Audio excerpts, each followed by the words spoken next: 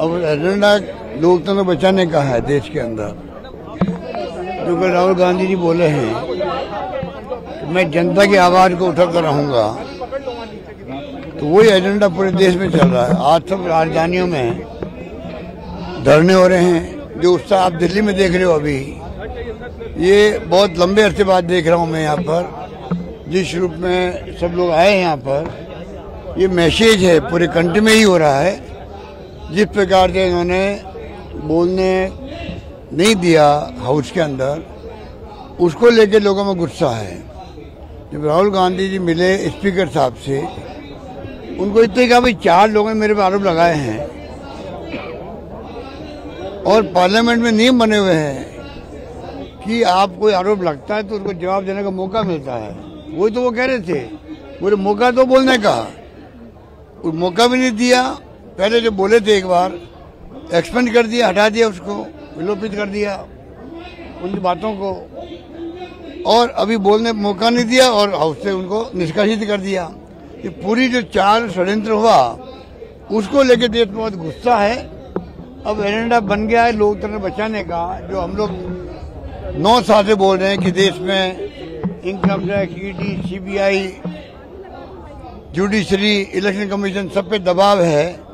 अब बातें सामने आ गई हैं। तो मैं समझता हूँ कि राहुल गांधी ने कल जो बोल करके एजेंडा सेट किया है, उस एजेंडा पे राष्ट्र बहस शुरू हो गई। राष्ट्र बहस शुरू हो गई नेशनल डिबेट शुरू हो गई है।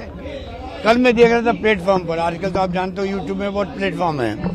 सभी लोग, आपके मित्र लोग, लेखक भी, साहित्यकार भी इंटेलेक्चुअल भी, सभी लोग इसी पे बहस कर रहे हैं। और मैं समझता हूँ कि करीब एट्टी नाइन्टी परसेंट लोग होंगे जो राहुल गांधी ने कल प्रेस कॉन्फ्रेंस करी उसको लेके ही वो लोग भाग ले रहे डिस्कशन के अंदर और सब लोगों ने अप्रिशिएट किया है।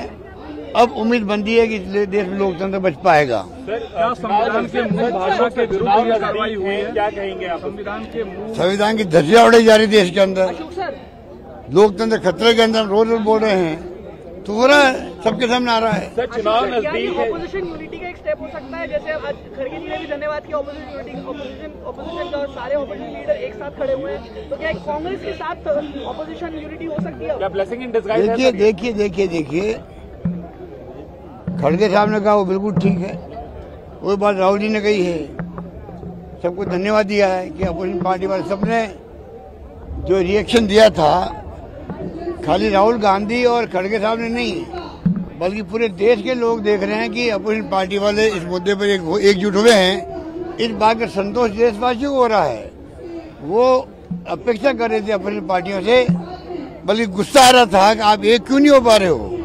जब देश किस दिशा में जा रहा है, किसी को नहीं मालूम। किस दिशा में जाएगा, कोई नहीं जानता। ऐसे वक्त में आप एक क्यों नहीं हो रहे हो? ये गुस्सा था लोगों के दिलों के अंदर। कल कल जो कल जो कल जिस प्रकार से राहुल जी ने कहा धन्यवाद भी दिया दो दिन से उनके कमेंट अच्छे आ रहे सभी पार्टियों के उसको लोगों ने वेलकम किया है। आप क्या बोलते रहे हैं? टाइम्स नाउ से चुनाव नज़दीक है राजस्थान में भी और देश में भी यहाँ से कांग्रेस की क्या स्ट्रेटेजी होगी?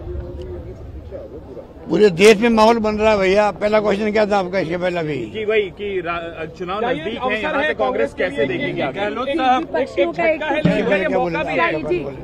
क्या क्वेश्चन पूछा चुनाव चुनाव चुनाव में क्या स्ट्रेटेजी होगी? कैसे कांग्रेस क्या ये क्या ये जो झटका लगा है क्या ये एक मौका भी है कांग्रेस के लिए लोगों तक? ब्लेसिंग इन डिस्गाइज देखिए बिल्कुल आप जो कह रहे हो मैं नहीं कह रहा हूँ ये तो पूरा देश कह रहा है। देश कह रहा है, विपक्षी पार्टियाँ कह रही है। मैंने कहा इंटेलेक्चुअल का मैं सुन रहा था लोगों का। सबने ये कहा है कि ये मौका दे दिया है।